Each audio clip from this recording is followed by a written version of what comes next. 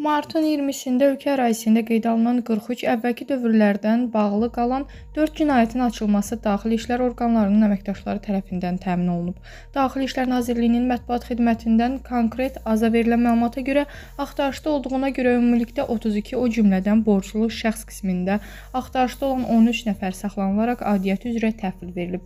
Respublikanın avtomobil yollarında ölümlə nəticələnən 2 yol nəqliyyat hadisəsi baş verib, nəticədə 2 nəfər ölüb. Narkotiklərlə əlaqəli 16 qanunsuz saxlanılan silah-sursatın götürülməsi və aşkarlanması ilə bağlı 5 fakt müəyyən edilib. Cinayəti törətməkdə şübhəli bilinən 32 nəfər saxlanılıb.